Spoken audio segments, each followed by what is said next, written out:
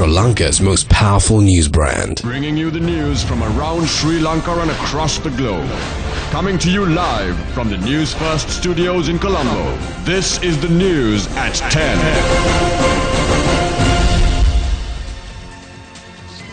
ආයිබෝවන් news first සති අන්තරාත්‍රී දහය ප්‍රධාන පුවත් ප්‍රකාශය සමගින් මම අමිල මුණසිංහ. මම චානුදේශනායක දැන් සිරස්තල. ලබන දහවනදායින් පසු ආණ්ඩුවේ සිදුවන වෙනස්කම් ගැන ජනපතිකින් ඉගියාක්.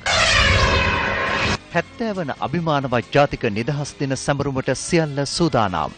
හෙට කොළඹ විශේෂ රථවාහන සැලස්මාක්.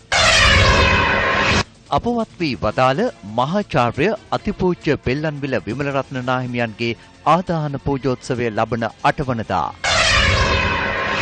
අපවත් වී වදාළ පූජ්‍ය මහාචාර්ය බෙල්ලන්විල විමල රත්න හිමියන්ගේ ශ්‍රී දේහය පිළිබඳ ආදාහන පූජෝත්සවය ලබන 8 වෙනිදා පස්වරුවේ ශ්‍රී ජයවර්ධනපුර විශ්වවිද්‍යාලයේ ක්‍රීඩාංගණයේදී සිදු කිරීමට තීරණය කර තිබෙනවා. අපවත් වන විට 77 වන වියේ පසුව උන්වහන්සේ මෙරට ආගමික සංස්කෘතික දේශපාලනික හා සමාජීය කටයුතුවලදී පුරෝගාමී මෙහෙවරක් ඉටු කළ හිමිනමක්. විචිත්‍ර ධර්ම කතිකයෙකු ලෙස වඩාත් ප්‍රචලිත වූ අතිපූජ්‍ය බෙල්ලන්විල විමලරතන නාහිමියන් අපවත් වන විට හැත්තෑ හත්වන වියේ පසෝනා. උන්වහන්සේ එදහස් නමසය හතලිස් දෙක වසරේ අප්‍රේල් දාහතර වන දින ගිල්බට් පෙරේරා නමින් බෙල්ලන්විලදී උපත ලැබුවේ දරුවන් හයදෙනෙකුගින් යුත් පවුලේ සිව්වැන්නා ලෙසයි. නිකපේශ්වී විජයරාජ විද්‍යාලයෙන් මූලික අධ්‍යාපනය ලබා පිළියන්දල මධ්‍ය මහාවිද්‍යාලයෙන් වැඩිදුර අධ්‍යාපනය ලබමින් සිටියේදී දහත් තුන්වන වියේදී බෙල්ලන්විල විමල රතන නමින් උන්වහන්සේ පැවිදි දිවියට ඇතුළත් වනා. සිය වැඩිමහල් සොයුරාද වූ බෙල්ලන්විල ධම්මරතන හිමියන්ගේ සෙවනේ පැවිදි දිවිය ගත කළ උන්වහන්සේ මුල්ලිකොඩ ප්‍රවචනානෝතය පිරිවෙනටත් අනතුරුව එදහස් නමසය පණ සතවසරේදී පෑලියකොට විද්‍යාලංකාර පිරිවෙනටත් ඇතුළත් වේ වැඩිදුර අධ්‍යාපනය ලැබවා. එදහස් නමසේ හැටතුන වසරේ එවක විද්‍යාලංකාර විශ්වවිද්‍යාලයට ඇතුළත් වූ පූජ්‍ය බෙල්ලන්විල බිමලරතන නාහිමියන් පසුව ශ්‍රී ජයවර්ධනපුර විශ්වවිද්‍යාලයේ සහකාර කතිකාචාර්ය දුහරයට පත් වනා. එම විශ්වවිද්‍යාලයේ මහාචාර්ය හා කුලපති දුහරයක්ද දැරූ පූජ්‍ය මහාචාර්ය බෙල්ලන්විල විමලරතන නාහිමියන් අපවත් වන විට එහි කුලපති දුහරේ කටයුතු කළා. ජාතික සංඝ සභාව පිහිටුවීමේ පුරෝකාමේ සමාජිකයෙකු වන උන්වහන්සේ මෙරට ජාතික මෙන්ම ශාසනික වශයෙන් අති වූ ගැටලුවලදී නොබියව පෙරමුණගෙන නායකත්වය දුන් ශේෂ්ඨ සංඝපීතෘවරයෙක්. භාෂා කලා සාහිත්‍ය කටයුතුවලදී කැපී පෙනෙන මෙහෙවරක් කළ උන්වහන්සේ මහා පඬිරුවනක් ලෙස ගෞරවයට පාත්‍රව සිටියා.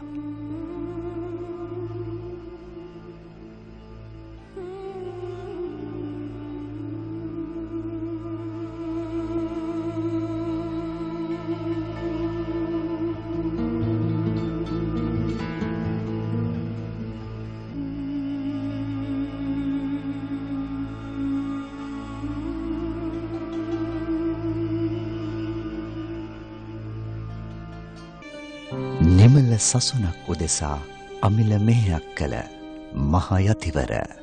අතිපූජ්‍ය බෙල්ලම්බෙල විමල රතන අනුනාහිමි සඳ අමා මහ නිවනෙහිම සැනසේවා. අපවත් වී වදාළ පූජ්‍ය මහාචාර්ය බෙල්ලන්විල විමලරතන නාහිමියන්ගේ ශ්‍රී දේහය අද රාත්‍රියේ බෙල්ලන්විල රජමහා විහාරස්ථානයේ වෙත වැඩම කෙරෙනවා. ඒ පිළිබඳව තොරතුරු දැන ගැනීමට අප සම්බන්ධ කරගන්නවා. එහි සිටින අප මාණ්ඩලික වාර්තාකරු මනෝජ් බුද්ධික. සසුනවර බැබලූ සංඝ පීතෘවරයන් වහන්සේ නමක් විදිහට මෙරට බෞද්ධ ජනතාව අතර පමණක් නොව ජාත්‍යන්තරයේද ගෞරවයට පත් වූ අපවත් වේ වදාළ මහාචාර්ය පූජ්‍ය බෙල්ලන්විල විමල රතන නායක සම්පදන වහන්සේගේ අපවත් වීම සැලවූ වහම උන්වහන්සේට ගෞරව කළ උන්වහන්සේට ආදරය කරන බොහෝ දෙනෙක් උන්වහන්සේ වැඩ සිටි බෙල්ලන්විල රාජමහා විහාරස්ථානයට පැමිණියා. විශේෂයෙන්ම අද පස්වරුවේ කොට්ටේ කාලනී ශ්‍රී සමග්‍රී මහා සංඝ සභාවේ අතිපූජනීය මහානායක ඉත්තෑපානේ ධම්මාලංකාර නායක සම්පදන් මහත්සේ වර ප්‍රමුඛ මහා සංඝරත්නය වගේම කතානායක කරු ජයසූරිය මහතාගේ සහභාගීත්වයෙන් සම්පදන් වහන්සේ වෙනුවෙන් සිදු කරන අදහන පූජෝත්සවය පිළිබඳව විශේෂ සාකච්ඡාවක් පැවැත්වුණා. එහිදී තීරණය වුණේ උන්වහන්සේ කුලපති ධුරේ දරූ ශ්‍රී ජයවර්ධනපුර විශ්වවිද්‍යාල ක්‍රීඩාංගණය පරිසරයේදී එළඹෙන 8 වෙනිදා කරුණීය සම්පදන් මහසේගේ දේහය පිළිබඳව අවසන් කටයුතු ඒ ආදාන පූජෝත්සවයේ සිදු කරන බවයි. එවැගේම අද මධ්‍යම රාත්‍රියේ සම්පදන් මහසේගේ ශ්‍රී දේහය පෞද්ගලික මාශාලාවකින් විහාරස්ථානයේ වෙත වැඩම කරවීමට සියලු කටයුතු මේ අවස්ථාව වන විට සූදානම් කර තිබෙනවා. අපි සූදානම් හෙට දවසේ සිට මේ විහාරස්ථානයේ පරිශ්‍රය සිදු කරන සියලු කටයුතු ඔබට ගෙනෙන්නට නිවුස් ෆස්ට් වෙනුවෙන් මම මනෝජ් පුත්තික බෙල්ලන්විල රාජමහා විහාරස්ථාන පරිශ්‍රයේ සිට ජනාධිපති මෛත්‍රීපාල සිරිසේන මහතා අද බණ්ඩාරගම් පැවති ජන හමුවකට සහභාගී වුණා.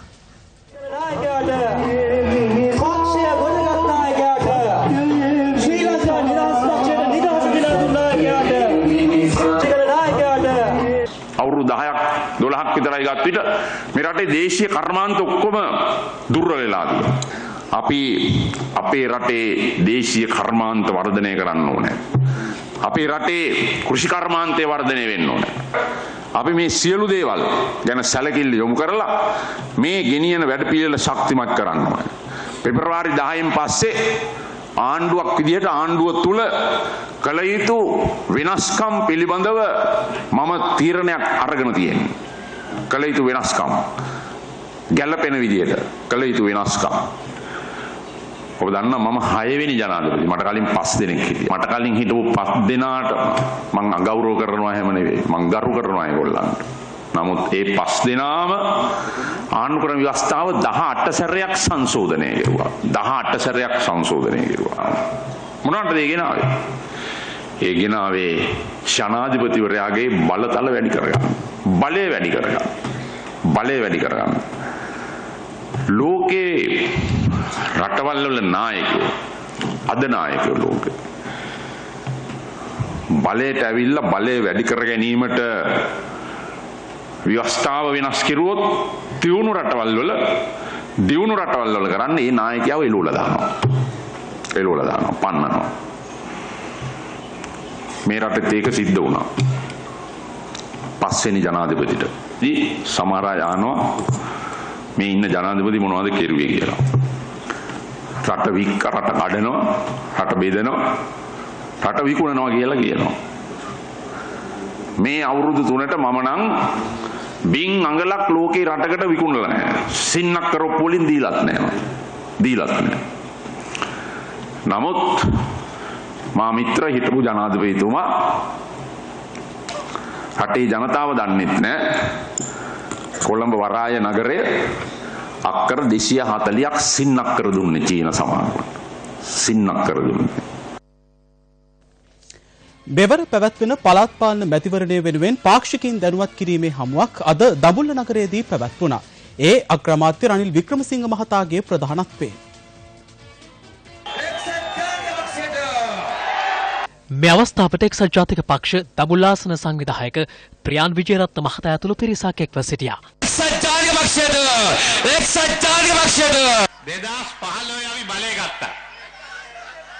දෙදස් දහට එක අතරිනවද නැත්නම් ඒක තහවුරු කළා අපේ සම්පූර්ණ බලය දෙදස් විස්ස ගන්නවද. මොකද අපි අවුරුදු 10ක් විපක්ෂයේ හිටියා. දැන් ආණ්ඩු බලයට ඇවිල්ලා අපි අවුරුදු 10ක් 15ක් බලේ ඉන්නවද නැත්නම් අතහැරලා දාලා යනවද ඒ ප්‍රධාන කාරණා දෙක තුනක් තිබුණා කරන්න එකක් තමයි ප්‍රජාතන්ත්‍රවාදී ස්ථිර කරන්න අද මිනිස්සු සුදු වෑන් වල ගෙනියන්නේ ජනතාව මර්ධනය කරන්නේ මාධ්‍යයට ඕන තරම් නිදහස තියෙනවා දැන් අද බලන්න මාධ්‍ය හැම මාධ්‍යයක්ම අපිට විරුද්ධව දාන්නේ. මාධ්‍ය නිදහස තියෙනකොට මොකක්ද ඕනේ?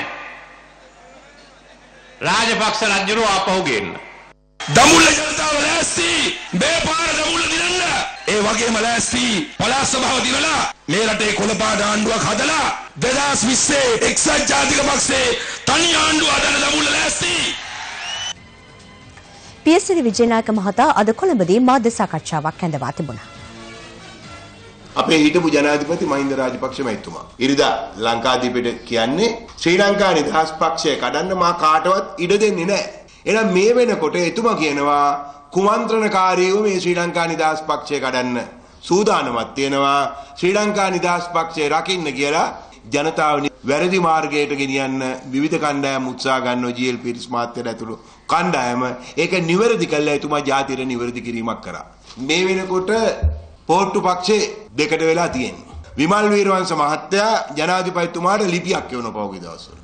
ඒ ලිපියක් කියවලා එතුමා පැහැදිලි කරනවා ජනාධිපතිතුමාට යම් යම් කාරණාවන් ටිකක් පැහැදිලි කළා හොරු අල්ලන්න බැඳුම් කර හොරුන්ට විරුද්ධව අධිකරණ ක්‍රියාමාර්ග ගන්න කියලා ඉතාමත්ම ආයාචනාත්මක ලියුමක් කියවනවා.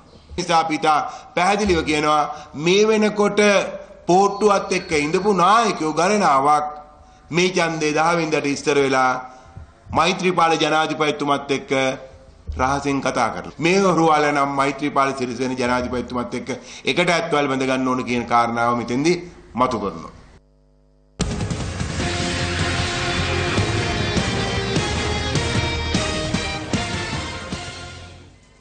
අද පුරසභය වෙන්වන්නේ කළුතර ප්‍රාදේශීය සභාවේ අපේක්ෂකීන්ගේ මත සංවාද වෙනුවෙන්. කළුතර ප්‍රාදේශ සභාව තුළ ජල ගැටලුවක් තියෙනවා මොකද ජල ගැටලුව කියන්නේ ප්‍රධාන වශයෙන්ම මුහුදු ජලයට ජලය විශ්‍රවීම නිසා. ඉදිරියේදී මේ ප්‍රදේශයේ ජනතාවට ජල විසඳුම ගැනීම තමයි අවශ්‍ය ක්‍රියාමාර්ග අරගෙන තිනවා.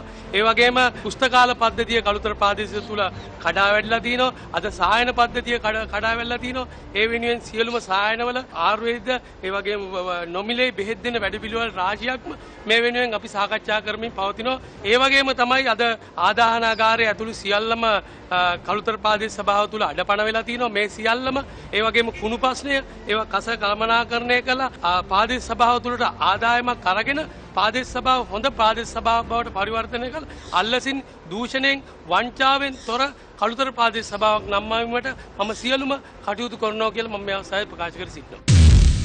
දැන්ට පෙර පාසල් හයක් පමණ තියෙන්නේ. අපි එතනින් එහාට ගිහිල්ලා පෙර පාසල් පමණක් නෙවෙයි. අපි බලාපොරොත්තු වෙනවා දිවාසරකම මධ්‍යස්ථානයක් මධ්‍යස්ථාන ගොඩනගා. ඒ වගේම ගම්වල ක්‍රීඩා පිටි 18ක් විතර මේ 18 ගත්තොත් කීපයක් විතරක් තමයි මේ සාමාන්‍ය ක්‍රීඩා පිටි තියෙන්නේ අනිත් ඒවා නිකම් අහල ගොඩවල් බවට පත් වෙලා සමහර මඩ වගුරු බවට පත් වෙලා අපි ක්‍රීඩාගාර ඒ වගේම සංස්කෘතික මධ්‍යස්ථාන ඒ වගේ දේවල් වලින් මේ තරුණ පරපුර එකතු කරලා තියාගන්න ඒකෙන් ස්වයං රැකියාව සඳහා ඉදිරියට යන්න පුළුවන් වැඩ පිළිවෙලක් සකස් කරන දෙන්න අපි බලාපොරොත්තු වෙනවා. එතනින් එහාට ගිහිල්ලා වැඩිහිටි පරම්පරාව අද අම්මලා තාත්තලා වයසක අය නිසි වැඩ පිළිවෙලකින් මේ අය පෝෂණය කරන්න අපි මානව සම්පත ඉතා හොඳින් ඉදිරියට ගන්න ඒ කටයුතු කරනවා. ඒ සමානව භෞතික සම්පත් තව මම්මාවත් ඒවා නොපිරියලා ඉෂ්ට කරන්න ඒකම දැනට කෙරීගෙන යනවා ටික කාර්යක්ෂම ඉතා වේගෙන් හොඳින් කරන්න අපි බලාපොරොත්තු වෙනවා. මූලිකම කටයුත්ත ලෙස මම දකින්නේ කසල කළමනාකරණය පිළිබඳ ගැටලුවට විසඳුමක් දෙන්න. මේ සඳහා අපි අලුතර ප්‍රාය සභාව තුළ උපකාර්යාල තුනක් තියෙනවා. ඒ උපකාර්යාල තුනට අනුයුක්තව යම් ක්‍රමවේදයක් අපි හදාගෙන තියෙනවා මේ සඳහා මේ කළමනාකරණය කිරීමට. ඒ වගේම තමයි විශේෂයෙන්ම කියන්න ඕනේ මේ තරුණ පරපුර වෙනුවෙන් ක්‍රීඩාංගන ඉතාමත්ම හොඳ දියුණුවට පත් කරලා තරුණයින්ට හවස් වරුවේ සෙල්ලම් කරන්න පුළුවන් විදිහට කාය වර්ධන මධ්‍යස්ථානයක් ඇති මධ්‍යස්ථාන ඇති කරලා ක්‍රීඩාව දියුණු කරන්නට ඔවුන්ට ශක්තියක් වෙන්න තියෙනවා. පාරට කොන්ක්‍රීට් දාන එක මේ පාර තුල ලයිට් එක හදන එක නෙවෙයි. ඉන් එහා ගිය මහ ජනතාවට සේවාවක් දැනෙන විදිහට ඒ අයගේ පොදු අවශ්‍යතාවන් හඳුනාගෙන ඒ අවශ්‍යතාවයට කටයුතු කිරීම තමයි මගේ බලාපොරොත්තුව මේ ප්‍රාදේශීය සභාව තුළ. ඒ වගේම තමයි මේ ගිනි නිවන ඒකකයක් මේ ප්‍රාදේශීය සභාව තුළ නෑ. මේ ගිනි නිවන ඒකකයක් මේ ස්ථාපනය කිරීමට මා බලාපොරොත්තු වෙනවා. මගේ ග්‍රාමයේ ගත්තොත් විශේෂිතම ප්‍රශ්නයක් තමයි තියෙන්නේ ක්‍රීඩා පිටියක් නැතිකම. ඒකට මම මගේ මගේ පෞද්ගලික ඉඩමක් වෙන් කරලා තියෙනවා මේ වෙන විට. ඒ වගේම කැලිකසර කිසිම විධිමත් ක්‍රමවේදයක් නැතුව හැමතැන්වලම විසිරලා තියෙනවා. එවෙනම් මේකට අපි ස්ථිරසාර වැඩපිළිවෙල සකස් කරන්න ඕනේ. මේක ප්‍රාදේශීය සභාවට තනියෙන් කරන්න පුළුවන් කාර්යයක් නෙවෙයි. මධ්‍යම ආණ්ඩුව සහ විදේශීය රටවල් එක්ක සම්බන්ධ වෙලා ඒකට පුළුල් වැඩසටහනක් හදාගෙන අපි ඒ කටයුතු කරගෙන යන්න ඕනේ. අපිට තියෙන අනිකුත් දැවෙන ප්‍රශ්නයක් තමයි ජලයට කරිජ්ජ මුසු වීම. එහෙමනම් අපි හැමෝගෙම සියලුම දේශපාලන පක්ෂ සියලුම අයගේ වගකීමක් සහ යුතුයකමක් වෙනවා. වගකිය යුතු සියලුම අය ඒක රාශී කරගෙන මේ මේ පළාත් පාලන මැතිවරණයෙන් පස්සේ කළුතර ප්‍රාදේශ සභාව බලපදේශයේ සහ ඊයේ අවට සියලුම අයට තියෙන මේ ජල ප්‍රශ්නය විසඳීමට වැඩපිළිවෙළ සකස් කිරීම. මෙතුමා කිව්වා මේ ආදාහනාගාර සියල්ල අකර්මණ්‍ය වෙලා කියලා. මං කියන්න ඕනේ මෙතුමට වස්කඩුව පොදු සූසාන භූමියේ තියෙන ආදාගාන කිසිම ප්‍රශ්නයක් නැහැ. අපේ පාලන කාලය තුල නාගොඩ ප්‍රදේශයේ ආදාහනාගාරයක් ඉදි කරන්න මුල් ගල තියලා වැඩ කටයුතු අවසන් කරලා තියෙනවා මම දන්නවා. හිටපු සභාපතිතුමා සහ එයාගේ ගෝලය එකතු වෙලා ඒ යතුරු ඉලෙක්ට්‍රිකල් බෝඩ් එකේ යතුරු හංගලා තිනවා. අද පාලන සභාවට මේක ටෙස්ට් කරගන්න විදියක් නෑ. මෙතන ආදානාගාරේ කොන්ත්‍රාත්කරු මේගොල්ලන්ගේ කොන්ත්‍රාත්කරු ඉන්නේ මෙතුමාලගේ හිටපු മന്ത്രിවරයෙක්.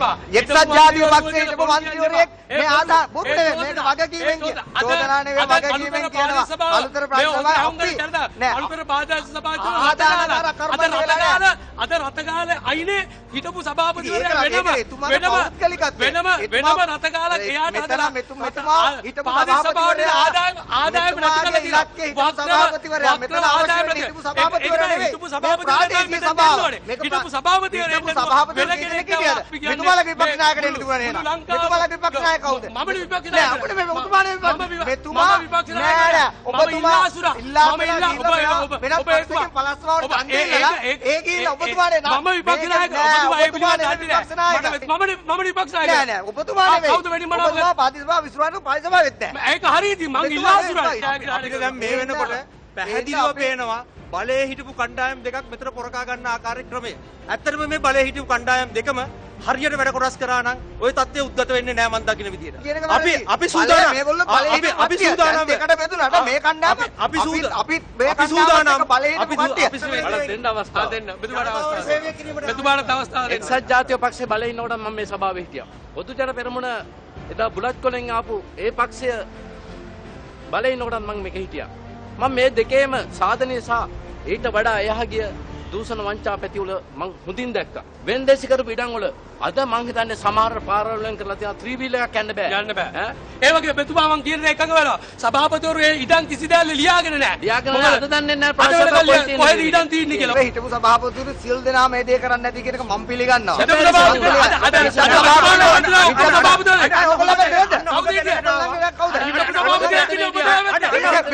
කවුද කියන්නේ අපේ ගාමිණිකයි රත්නදින ඔයගොල්ලෝ ඔන්න හොඳ එහෙමනම් මේ ප්‍රාදේශ සභාව තුල හිටපු හැමෝම වැරදි ටික කරලා තියෙනවා. එහෙමනම් අපි කියන්නේ මේ මේ මේවා නිවැරදි කරන්න. මේ වෙනස් කරන්න ජනතාව ඒකරාශී වෙන්න කියන එක අපි කියන්නේ පැහැදිලි. ප්‍රධාන දේශපාලන පක්ෂ හතරක සංකායෝජිතින් සිව් දෙනෙකු මේ ආකාරයෙන් තරඟ වදින්නේ ඔබගේ වටිනා මනාපය ලබා ගැනීම සඳහා. ඔබ ලබා දෙන ඒ මනාපය ඔස්සේ තමයි මේ ජනතා නියෝජිතයින් ඔබගේ පාලකයන් බවට පත්වන්නේ දැන් දේශපාලන වේදිකාවේ පළ වූ අදහස් කිහිපයක්.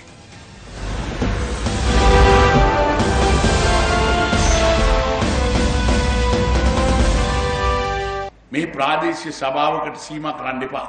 මේකේ මූණු ගැන හිතන්න එපා. මේ මූණු හොඳද නරකද කියන එක නෙවෙයි ප්‍රශ්නේ. අද මේ මේවා ගැන හිතන්න නැතුව රට ගැන හිතලා, ජාතියට වෙන්න යන විනාශය ගැන හිතලා, අපේ රටට වෙන්න යන විනාශය ගැන හිතලා ඔබ ඡන්දේ පාවිච්චි කරන්න. අර හොර මැර බොරු සෙට් එක තමයි දැන් මේ අලුතෙන් එන්නේ. ඒකයි කියන්නේ ඒගොල්ලන් දිහා බලන්නේ නැතුව ඡන්ද දෙන්නේ. දැන් ඉතින් දත් මැදලා පවුඩර් ගාලා කොණ්ඩ පීරගෙන අලුත් සූට් ඇඳගෙන ඒගොල්ලන්ට අපේක්ෂකයෝගල පෙන්වන්න බෑ. මොකද තාම ඉන්නේ අර පරණ සෙට් එකමයි. නමුත් අපි නම් කියන්නේ අපි දිහා බලන්නේ නැතුව කරුණාකරලා මේ අපේක්ෂකයව දිහා බලන්න.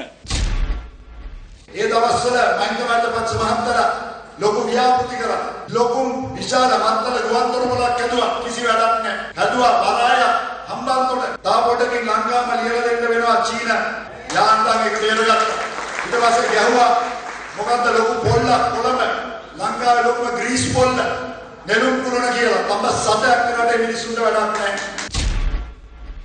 අර කොළඹ නගරේ තියෙන දැවැන්ත නෙළුම් කුළුණ ඒක සිරිසේනගේ. හැබැයි ඊට එහා පැත්තේ තියෙන කුණු කන්ද ඒක මහින්දගේ. මෙහෙම ගිහිල්ලා කියාවි මිත්‍රවරුනි ශිරන්ති නෝනා මහින්දගේ හැබැයි නාමල් පුතා සිරිසේනගේ කියලා. දැන් අලුතෙන් කොමිසමක් දාලා ශ්‍රී ලංකන් ගුවන් සේවයයි මීන් ලංකාවයි. දැන් ඉතින් මෛත්‍රීපාල මහත්තයා කඩුවෙන් තමන්ගේ ආණ්ඩුවෙන් බෙලි කැපෙන්න යන්නේ. පහුගිය ආණ්ඩුව කාලේ ගුවන් යානා වගේ ඇණියුම් කරා අලුතෙන්. මේ ආණ්ඩුව අවම ඒක කැන්සල් කරා. කැන්සල් කරන්න ගෙව්වා ගන්න යන ගාන වගේ භාගයක්. ඒ කිව්වේ මේ රටේ මහජන මහජනතාවගේ මුදල්. අඩු ගානේ ඉතුරු භාගය ගෙවුණා ප්ලේන් එක හම්බ වෙනවා. දැන් ප්ලේන් එකක් නැහැ සල්ලිත් ගෙවලා. ඉතින් මේ කොමිසම ඒවත් එව්වොත් හොඳයි.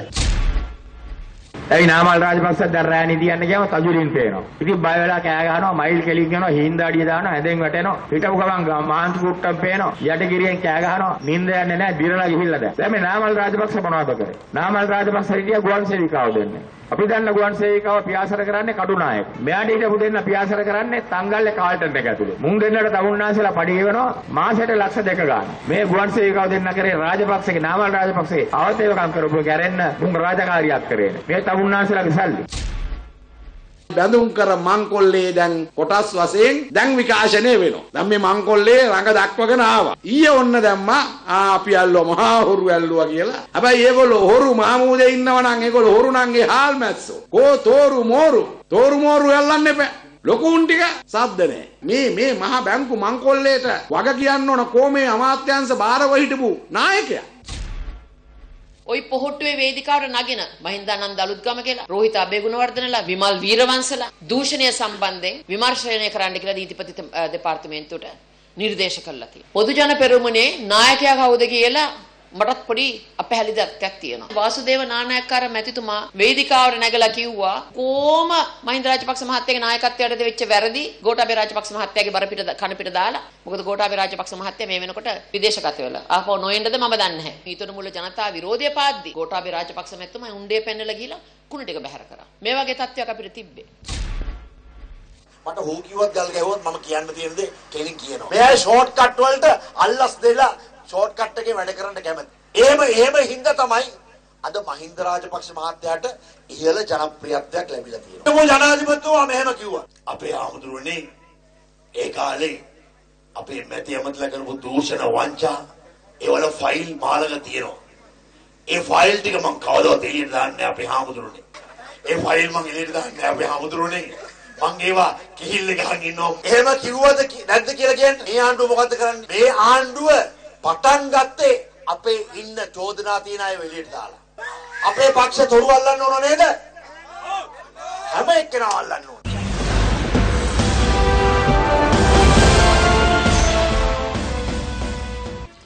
සීදුව ලියනගේ මුල්ල අනාරක්ෂිත දුම්රිය මාර්ගයේදී ත්‍රිරෝධ රථයක් දුම්රියක ගැටීමෙන් පුද්ගලයන් තුන් දෙනෙකු තුවාල ලැබුවා. පොලිසිය පැවසුවේ අදරාත්‍රිය 7:30ට පමණ මෙම අනතුර සිදුව ඇති බවයි. තුවාල්කරුවන් කොළඹ ජාතික රෝහලට ඇතුළත් කර තිබෙනවා. මට සපෝට් එකක් දෙන්න අනේ. සපෝට් එක ඉස්සරහ. අනේ පුතා ඒ වගේ පෙන්නන්න. ටීවී එකට එහා පැත්තට. පෙන්නන්න බෑනේ පුතා. එලා හෙට පෙරවරු 8ට ගාලමූදුරදී ආරම්භ වන 70 වන අභිමානවත් ජාතික නිදහස් දින ප්‍රධාන සමර උළෙල සඳහා මෙවන විට සියලු කටයුතු සූදානම් කර තිබෙනවා. ඒ හේතුවෙන් කොළඹ නගරයේ විශේෂ රථ වාහන සැලැස්මක් ක්‍රියාත්මක වන අතර හෙට අලුයම 5 සිට දහවල් 12 දක්වා ගාලුපාර ගලමුදුර වටරවුමේ සිට පරණ පාර්ලිමේන්තු වටරවුම දක්වා මාර්ගය සහ චෛත්‍ය පාරද වසා තැමෙනු ඇති. පෙරවරු හතේ සිට දහවල් දොළහ දක්වා කොල්ලු පිටිය මන්සන්දියෙන් ශාන්තමයිකල් වටරවුමෙන් රොටුන්ඩා වටරවුමෙන් ගාලු පාරට ඇතුල්වීම තහනම් කෙරෙන අතර සෙරමික් මන්සන්දියෙන් පරණ පාර්ලිමේන්තුව දෙසටත් යෝක් වීදියෙන් ලංකා බැංකු මාවත දෙසටත් ඇතුල්වීම තහනම් බව පොලිස් මූලස්ථානය සඳහන් කළා. මීට අමතරව කොටුව දුම්රියපල ඉදිරි පිටින් කොටුව සිටියෝ හන්දිය දෙසට ඇතුළුවීම සහ කොටුව සිටියෝ මන්සන්දියෙන් සෙරමික් මන්සන්දිය දෙසට ඇතුළුවීමද අදාළ කාලය තුල සිදු කළ නොහැකි බව පොලිසිය සඳහන් කළා. හෙට පෙරවරු 8 සිට දහවල් 12 දක්වා කාලය තුල ගාමිණී වටරවුමෙන් ඩී.ආර්. විජේවර්ධන මාවතට ඇතුළුවීමද සීමා කර තිබෙනවා. වසා දමා ඇති මාර්ග භාවිතා කරන රේදුරන්ට විකල්ප මාර්ග කිහිපයක් හඳුන්වා දී ඇති අතර එම මාර්ග පිළිබඳව දැනගැනීම සඳහා පොලිස් සංඥා පුවරු භාවිතා කරන ලෙස පොලිස් මූලස්ථානය ජනතාවගෙන් ඉල්ලීමක් කරනවා.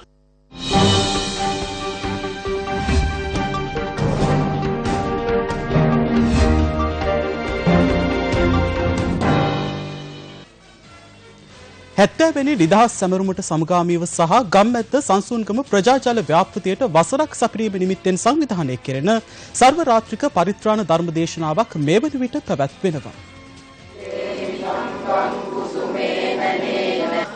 පොළොන්නරුව සංසුන්ගම පැවති උග්‍රපානීය ජල අර්බුදයට විසඳුම් ලබා දෙමින් ගම්මැද්ද හා සුවදිවියට පිරිසිදු පානීය ජලය සංවිධානය එක්ව සංසුන්ගමට ප්‍රජා ජල ව්‍යාපෘතියක් ලබා දුන්නේ මිට වසරකට පෙරයි. එහි වර්ෂපූර්ණය සහ හැත්තෑ වන නිදහස් දින සමරුව නිමිති කර ගනිමින් අද රාත්‍රියේ සංසුන්ගම ප්‍රජා ජල ව්‍යාපෘති පරිශ්‍රයේදී මෙලෙස පරිත්‍රාණ ධර්ම දේශනාවක් ආරම්භ වුණා.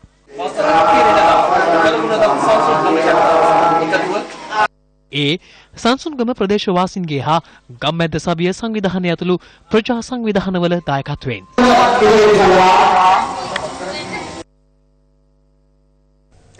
චානු කෘෂිකර්මාන්තයේ ගොඩනැගෙන්නේ අපේ රටේ ගොවි ජනතාවගේ දහටිය කඳුළු වලින්. කොහොමුණ තමිල කෘෂිකර්මාන්තය ගොඩනැගීම බලධාරීන්ගේ අවශ්‍යම කාරණයක් වුණත් ඒට ප්‍රායෝගික විසඳුමක් ලැබෙනවද කියලා ගොවින් ප්‍රශ්න කරනවා. එවැගේම තමයි මහනුවර බූටාවත්තේ ගොවි ජනතාව තමන් වසර ගණනාවක සිට මුහුණු පෑ ජල ගැටලුවට තවමත් නිසි පිළිතුරක් ඇත්තේ නැත්තේ ඇයිදැයි විමසනවා. මහනුවර හේවා හැට බූටාවත්ත ගම්වැසියන්ගේ ප්‍රධාන ජීවනෝපාය පාරම්පරික කෘෂි කර්මාන්තයයි.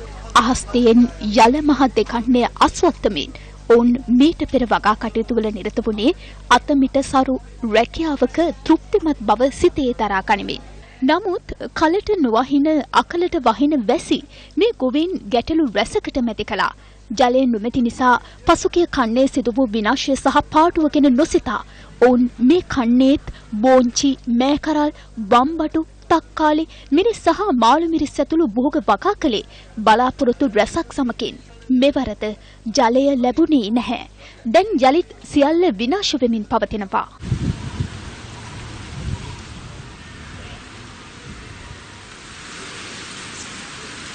මේ ඉඩෝලේ නිසා තමයි මේ මාල් මිනිස් කොටු ඔක්කොම මේ හං වෙලා මැරිලා දැන් කලල්පල ගන්න කාලෙට දැන් ක්‍රීඩා පුවතක්. ශ්‍රී ලංකා සහ බංග්ලාදේශ කණ්ඩායම අතර පළමු ටෙස්ට් ක්‍රිකට් තරගයේ සිව්වැනි දිනය අදයි. අදිනය සඳහා තරගය නතර කරන විට දෙවැනි ඉනිම ක්‍රීඩා කරන බංග්ලාදේශ කණ්ඩායම කඩලු තුනක් දැවී රැස් කරගෙන සිටි ලකුණු සංඛ්‍යාව 81ක්.